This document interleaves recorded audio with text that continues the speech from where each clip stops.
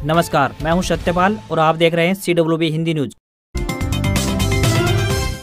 सक संवत 1946 विक्रम संवत दो हज़ार इक्यासी, आज ज्येष्ठ मास के कृष्ण पक्ष की चतुर्दशी तिथि और दिन बुधवार है। तदनुसार अंग्रेज़ी तारीख 5 जून सन 2024 सबसे पहले आज के मुख्य समाचार। हरियाणा इलेक्शन 2024 अपडेट पाँच पाँच सीटों पर जीते भाजपा व कांग्रेस, दीपेंद्र ने हासिल की सबसे बड़ी जीत।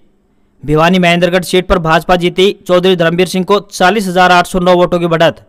गुरुग्राम लोकसभा सीट पर राव इंद्रजीत सिंह की जीत, कांग्रेस के राजबब्बर को पिछहत्तर हज़ार से ज़्यादा वोटों से दिमाद। सिरसा में कांग्रेस की बीजेपी पर बड़ी जीत, कुमारी शैलजा दो लाख अड़सठ हज़ार से ज़्यादा वोटों से जीती। करनाल लोकसभा सीट से मनोहरलाल खट्टर की जीत, दो लाख उन्नीस हज़ार से ज़्यादा अंतर से कांग्रेस के बुद्धि राजा को हराया, उपचुनाव में सीएम सैनी जीते। कुरुक्षेत्र सीट पर भाजपा जीती, नवीन जिंदल ने आपके सुशील गुप्ता को उनतीस वोटों से हराया। फरीदाबाद में एक लाख बहत्तर हज़ार वोटों से जीते कृष्णपाल गुर्जर जजपा नोटा से भी नीचे रह गई।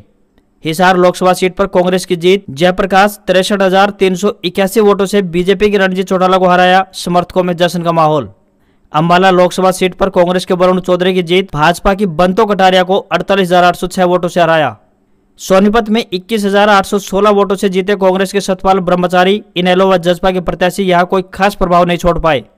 एम्स, दिल्ली जॉब्स अपडेट, दिल्ली में आई मल्टीटास्किंग स्टाफ के पदों पर भर्ती, दसवीं पास करें आवेदन। और सीबीएसई कंपार्टमेंट एग्ज़ाम के लिए कर सकते हैं आवेदन। शुरू हुआ रजिस्ट्रेशन लिंक और अब खबरें विस्तार से। हरियाणा वासियों को अब गर्मी से राहत मिल सकती है। मौसम विशेषज्ञों के अनुसार 4 जून से एक नया पश्चिमी विक्षोभ सक्रिय होने की संभावना जताई गई है। इसके असर से तीन दिन तक राज्य में बारिश होने की संभावना बनी रहेगी। इसके साथ ही मौसम में बदलाव से लोगों को भीषण गर्मी से राहत मिलेगी। इसके असर से तेज हवाएँ चलने की भी संभावना जताई गई है। इसके साथ ही कई इलाकों में आंशिक बादल छाए रहेंगे। वहीं कुछ जगहों पर बूंदाबांदी की गतिविधियाँ देखी जा सकती है। हालाँकि इस दौरान नमी वाली हवाओं के शांत होने से उमस का सामना करना पड़ सकता है। इस दौरान प्रदेश के अधिकतम तापमान की बात करें तो चालीस डिग्री से लेकर पैंतालीस डिग्री सेल्सियस दर्ज किया गया है तो वही न्यूनतम तापमान तेईस डिग्री से लेकर इकतीस डिग्री सेल्सियस के बीच दर्ज किया गया।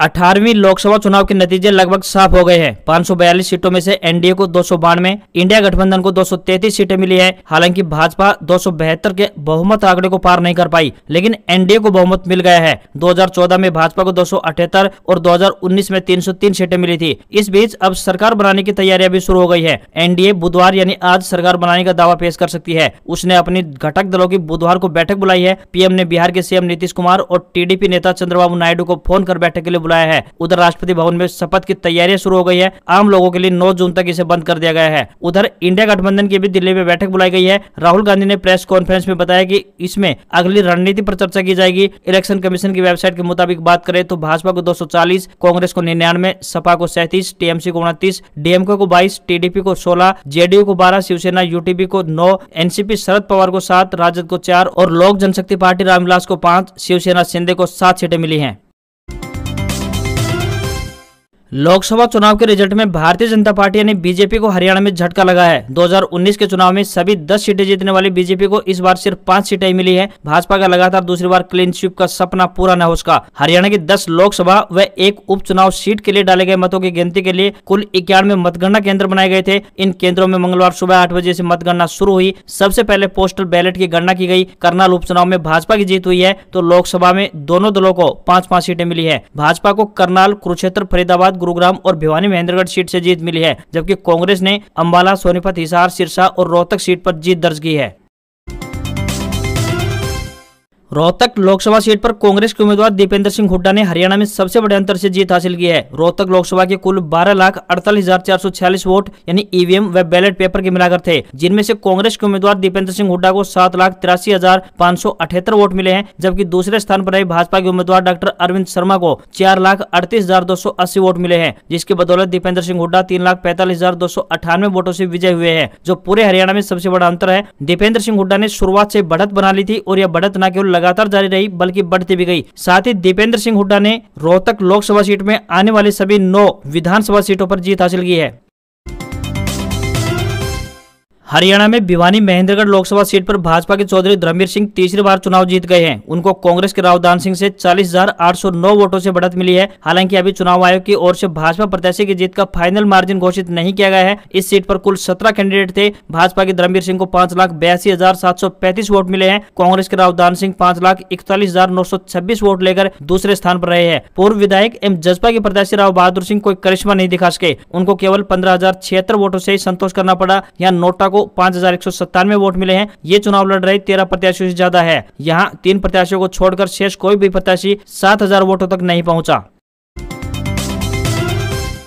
हरियाणा की गुरुग्राम लोकसभा सीट पर बीजेपी प्रत्याशी राव इंद्रजीत सिंह ने जीत दर्ज कर ली है। गुरुग्राम सीट पर राव की लगातार चौथी जीत है। राव इंद्रजीत सिंह ने कांग्रेस प्रत्याशी और फ़िल्म स्टार राज बब्बर को पिछहत्तर हज़ार से ज़्यादा वोटों से मात दी है। सुबह आठ बजे शुरू हुई काउंटिंग के दौरान शाम होते होते कई बार इस सीट आरोप बड़ा उलटफेर भी हुआ। सुबह काउंटिंग शुरू होने के लगातार साढ़े छह घंटे बाद तक कांग्रेस के प्रत्याशी राज बब्बर बढ़त बनाए हुए थे, लेकिन जब गुरुग्राम बादशाहपुर सीट की काउंटिंग के रुझान आने लगे तो बाजी पलटती चली गई। इन दोनों सीटों ऐसी राव इंद्रजीत सिंह को काफ़ी बड़े अंतर ऐसी वोट मिले। राव इंद्रजीत सिंह को नौ की तीनों विधानसभा सीटों पर हार का सामना करना पड़ा, जबकि छह अन्य विधानसभा में कांग्रेस प्रत्याशी के मुकाबले लीड मिली। पटौदी, रेवाड़ी, बावल ऐसे तीन विधानसभा क्षेत्र हैं जहाँ से राव इंद्रजीत सिंह को उम्मीद के मुताबिक लीड नहीं मिल पाई। जीत के बाद राव इंद्रजीत सिंह ने बीजेपी के 400 पार नारे पर भी तंज कसा। रेवाड़ी के रामपुरा हाउस में समर्थकों के बीच राव इंद्रजीत सिंह ने कहा की जब मुझसे मीडिया वाले चार सौ पार के नारे पर सवाल करते थे तो मैं सिर्फ़ इतना कहता, जो होगा भगवान भरोसे होगा। मेरा दिल नहीं मान रहा था की हम चार सौ पार जाएँगे, लेकिन आज के दिन हमारी सरकार बन रही है। राव इंद्रजीत सिंह ने यह भी कहा कि हमें अभी से विधानसभा चुनाव की तैयारी करनी है। हो सकता है कि समय से पहले हरियाणा में विधानसभा चुनाव हो। खुद की बेटी आरती राव को लेकर कहा कि आरती राव को इस बार चुनाव ज़रूर लड़ाएँगे। हमें दक्षिणी हरियाणा के ज़रिए सत्ता में सीन होना है। हरियाणा की सबसे hot seat Karnal Lok Sabha seat से पूर्व सीएम मनोहर लाल खट्टर दो लाख उन्नीस हज़ार से ज़्यादा वोटों के अंतर से जीत गए। उन्हें कुल छह लाख अठानवे हज़ार नौ सौ बानवे से ज़्यादा वोट मिले हैं, जबकि उनके प्रतिद्वंदी कांग्रेस के दिव्यांशु बुद्धि राजा को चार लाख अस्सी हज़ार से ज़्यादा वोट मिले। हरियाणा के पूर्व सीएम और करनाल लोकसभा प्रत्याशी मनोहर लाल खट्टर ने करनाल की जनता का आभार व्यक्त किया। सीएम ने कहा की सभी के अपने अपने अनुमान होते हैं और हमारा भी अनुमान था की हम यहाँ ऐसी दस की दस सीटें जीत लेंगे, लेकिन जनता ने जो फैसला दिया है वे मान्य है, उनको नमन करते हैं। और अब मंथन किया जाएगा की क्या कारण रहे हैं और आने वाले विधानसभा चुनाव में लोकसभा वाली कोई गलती न हो, इसका भी ध्यान रखा जाएगा। हरियाणा में कुरुक्षेत्र लोकसभा सीट, बड़े उतार चढ़ाव के बीच आखिरकार भाजपा ने जीत ली। भाजपा के प्रत्याशी नवीन जिंदल ने गठबंधन में चुनाव लड़ रहे आम आदमी पार्टी के सुशील गुप्ता को उनतीस वोटों से हराया। नवीन जिंदल तीसरी बार सांसद बने हैं। कुरुक्षेत्र लोकसभा सीट से भाजपा के नवीन जिंदल को पाँच लाख बयालीस हज़ार एक सौ पिछहत्तर और आम आदमी पार्टी के सुशील गुप्ता को पाँच लाख तेरह हज़ार एक सौ चौवन वोट मिले। इनेलो के प्रत्याशी अभय सिंह चौटाला यहाँ को ज़बरदस्त प्रदर्शन नहीं कर पाए। उनको केवल अठहत्तर हज़ार सात सौ आठ वोट ही मिल पाए। वे तीसरे नंबर पर रहे। बसपा के दीपक मेहरा को बीस हज़ार वोट मिले हैं। हरियाणा के सिरसा लोकसभा क्षेत्र में कांग्रेस की प्रत्याशी कुमारी शैलजा ने चुनाव जीत लिया है। उन्होंने भाजपा के अशोक तंवर को दो लाख अड़सठ हज़ार चार सौ सत्तानवे वोटों के भारी अंतर से हराया। चुनाव आयोग के प्रारंभिक डाटा के अनुसार बात करें तो कांग्रेस को सिरसा में सात लाख तैतीस हज़ार आठ सौ तेईस वोट मिले हैं। भाजपा के अशोक तंवर को चार लाख पैंसठ हज़ार तीन सौ छब्बीस वोट मिले। बता दें की कुमारी शैलजा सुबह से भाजपा प्रत्याशी पर लीड बनाए हुए थी। उनके वोटों का अंतर लगातार बढ़ता गया। अशोक तंवर इसके बाद काउंटिंग के बीच में ही सेंटर छोड़कर चले गए थे। सिरसा लोकसभा सीट से कुल उन्नीस प्रत्याशी चुनाव मैदान में थे। इनमें जजपा के रमेश खटक को केवल बीस हज़ार अस्सी वोट मिले। तो वहीं सिरसा से लोकसभा चुनाव में जीत के बाद कांग्रेस प्रत्याशी कुमारी सैलजा ने कहा कि वे सैदव जनता की ऋणी रहेंगी। उनका लक्ष्य क्षेत्र को विकास, शिक्षा, चिकित्सा व बुनियादी सुविधाएँ उपलब्ध करवाना उनकी प्राथमिकता रहेगी। हरियाणा में सोनीपत लोकसभा सीट पर कांग्रेस ने चुनाव जीत लिया है। कांग्रेस के सतपाल ब्रह्मचारी ने भाजपा के मोहनलाल बड़ोली को कड़े मुकाबले में 21,816 वोटों से मात दी। मोहनलाल बड़ोली करीब एक घंटा पहले हार मानकर काउंटिंग सेंटर से चले गए थे। चुनाव आयोग के डेटा के अनुसार कांग्रेस को पाँच लाख अड़तालीस हज़ार छह सौ बयासी व भाजपा को पाँच लाख छब्बीस हज़ार आठ सौ छियासठ वोट मिले हैं। हालाँकि इसमें मामूली फेरबदल संभव हो सकता है। सुबह से ही यहाँ भाजपा के मोहनलाल बड़ोली व कांग्रेस के सतपाल ब्रह्मचारी के बीच कांटे की टक्कर देखने को मिली। इनेलो व जसपा के प्रत्याशी यहाँ कोई खास प्रभाव नहीं जता सके हरियाणा में फरीदाबाद लोकसभा सीट भाजपा ने बड़े मार्जिन से जीत ली। भाजपा के प्रत्याशी एवं केंद्रीय राज्य मंत्री कृष्णपाल गुर्जर ने यहाँ कांग्रेस के महेंद्र प्रताप को एक लाख बहत्तर हज़ार नौ सौ चौदह वोटों से पटकनी दी है। इसी के साथ कृष्णपाल गुर्जर ने हैट्रिक लगा दी है। सुबह आठ बजे मतगणना शुरू होने के साथ वे बढ़त बनाए रहे तो कांग्रेस उनके बढ़त को किसी भी राउंड में तोड़ नहीं पाई। फरीदाबाद लोकसभा सीट से भाजपा को सात लाख अठासी हज़ार पाँच सौ उनहत्तर वोट मिले हैं तो कांग्रेस को छह लाख पंद्रह हज़ार छह सौ पचपन वोट मिले। यहाँ चुनाव में कुल चौबीस प्रत्याशी मैदान में थे। तीसरे नंबर आरोप बसपा के प्रत्याशी किशन ठाकुर ठाकुर रहे हैं, जिन्हें पच्चीस वोट मिले हैं। इनेलो के सुनील तेवतिया को आठ वोट तो वही जसपा के नलिन हुड्डा को पाँच वोट मिले हैं। इस सीट से नोटा को छह हज़ार आठ सौ इक्कीस वोट मिले जसपा तो नोटा से भी नीचे रह गई है। भाजपा का गढ़ माने जाने वाले अंबाला लोकसभा संसदीय सीट पर कांग्रेस के वरुण मुलाना विजय रहे हैं। उन्होंने अपनी करीबी प्रतिद्वंदी भारतीय जनता पार्टी के प्रत्याशी बंतो कटारिया के मुकाबले अड़तालीस मतों के अंतर से सभी नौ विधानसभा हल्कों में छह लाख बासठ हज़ार पाँच सौ बानवे भारी मतों के साथ जीत हासिल की है। बंतो कटारिया को छह लाख तेरह हज़ार सात सौ छियासी मत पड़े। अम्बाला लोकसभा क्षेत्र में नौ विधानसभा हल्के हैं, जिनमें से पाँच हल्कों पर भाजपा के दिग्गज नेताओं का दबदबा रहा है। इस बार नारायणगढ़ मुलाना व अम्बाला सीट में कांटे की टक्कर होने के बावजूद वरुण चौधरी को इन सीटों सीटों पर भारी मत पड़े। वहीं इंडियन नेशनल लोकदल के गुरप्रीत सिंह को आठ हज़ार आठ सौ सैंतीस मत पड़े। तो वहीं जननायक जनता पार्टी के किरण पुनिया को 6016 जबकि 6371 लोगों ने नोटा का बटन दबाया।